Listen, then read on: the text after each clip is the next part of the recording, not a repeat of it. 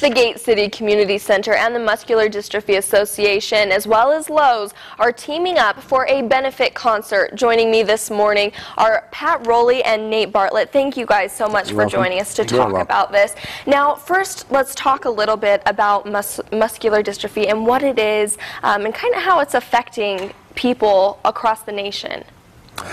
Well, I mean, it, it is a muscular uh, disease that uh, affects the young as well as the old. Um, and of course, uh, Lowe's has really stepped up to the plate to, you know, actually replace what I remember uh, when I was kids was Jerry Lewis and uh, the muscular dystrophy. They always used to call it Jerry's Kids. Uh, and of course, Lowe's has really stepped up to the plate since Jerry has uh, uh, not been that involved with it because of his age. But uh, Lowe's has certainly come up with, you know, the Shamrocks.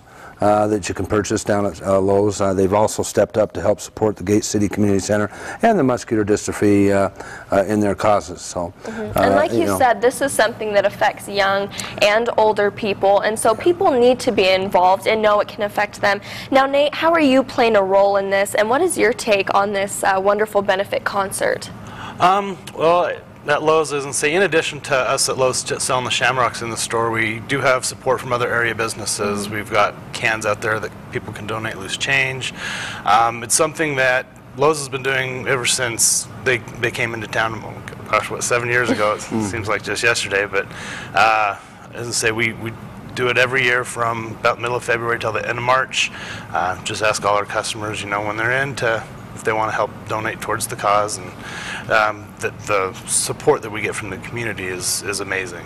Okay, and what's some of the music, the live bands that will be there at this event? well, well, it's going to be easy listening music. Uh, Absolute Zero is one of Pocatello's favorite uh, uh, easy listening dancing bands, but uh, we're going to have Category 3 there as well as uh, Shattered Aftermath. Uh, all dancing bands, so you know it's designed to be a, an upbeat uh, dancing kind of uh, benefit for the MDA.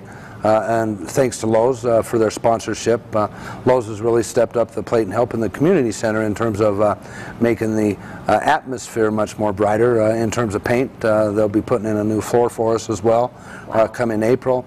So it's really, you know, the Gate City Community Center is a venue for everybody to use for many, many different reasons. But uh, uh, this MDA benefit is probably one of the biggest benefits we've put on so far this year, in addition to Salvation Army and the Sheriff's uh, Search and Rescue and a few others that we've done. Wonderful. Now, Nate, to ca- recap, when is it? How do people get involved?